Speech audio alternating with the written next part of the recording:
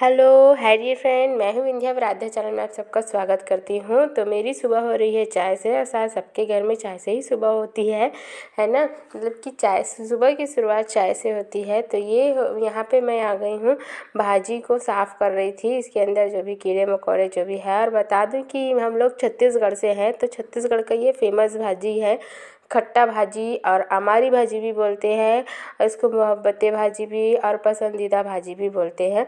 तो इसको साफ़ करने के बाद पानी में अच्छे से धोने के बाद मैं इसका पानी जो है, खट्टा वाला जो पानी है, उबाल करके अलग कर दी थी। कुकर में मैंने यहाँ पे दाल चढ़ाया हुआ था और साथ ही साथ मेरे चूल्हे पे वो दाल और प्याज को पकाने के लिए रख दी थी। इसके साथ में मिक्स करके खाने में बहुत अच्छा लगता है। जो और कुछ खट्टा वगैरह रहता है भाजी में तो वो नहीं लगता है। इसलिए दाल और प्याज को मैं इसमें ऐड कर रही हूँ। प्याज से मीठापन भी आ जाता है और स्वाद भी बढ़ जाता है। तो जो खट्टा पानी है वो अलग करने के बाद मैं जो दाल पका हुआ है, दाल और प्याज, उसमें ये जो भाजी है उसको ऐड कर रही हूँ। ये जो पत्तेदार भाजी है वो खाने में बहुत ही स्वादिष्ट लगता है। हल्का हल्का थोड़ा थोड़ा खट्टा रहता है और जो ज़्यादा खट्टा रहता है ना, वो पानी को हम अलग कर दिए हैं उबाल करके। तो ये जो दाल और प्याज को इसमें मैं अच्छे से मिक्स कर रही हूँ, क्योंकि अच्छे से मिक्स इसलिए कर रही हूँ ताकि ये जो भाजी है, उसमें जो दाल ऊपर ऊपर रह जाएगा तो अंदर में मिक्स नहीं हो पाएगा तो वो फिर खाने में अच्छा नहीं लगेगा। अच्छे तरीके से मिक्स करने के लिए बार बार इसको लगातार चम्मच चलाना पड़ता है।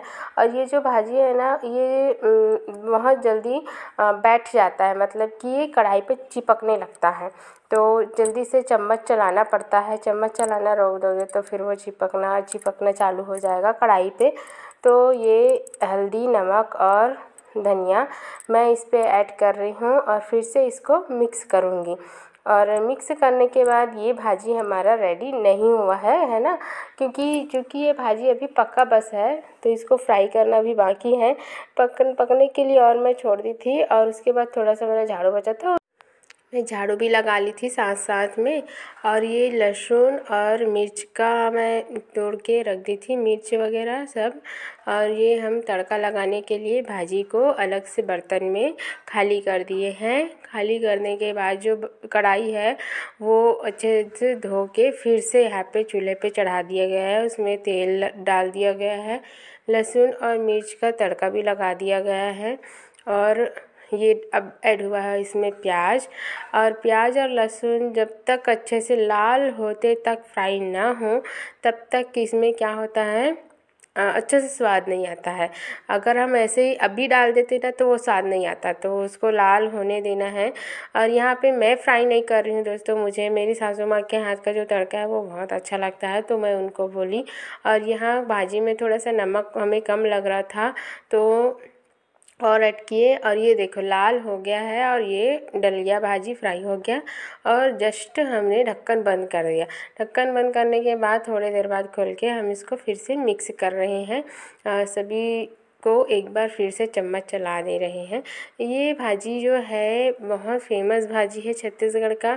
खाने में थोड़ा सा खट्टा खट्टा लगता है अच्छा लगता है और मेरे ख्याल से ये छत्तीसगढ़ में ऐसा कोई, शायद ही कोई व्यक्ति होगा जिसको ये भाजी पसंद नहीं आता होगा।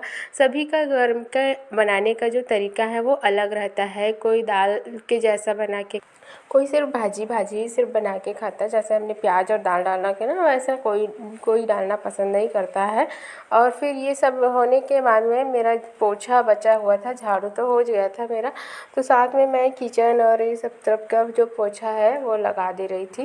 और पोछा होने के बाद जो मेरी बच्ची आ गई थी वो पड़ोसी के घर गई थी खेलने के लिए, लेके चले जाते हैं वो लोग, खिलाते रहते हैं।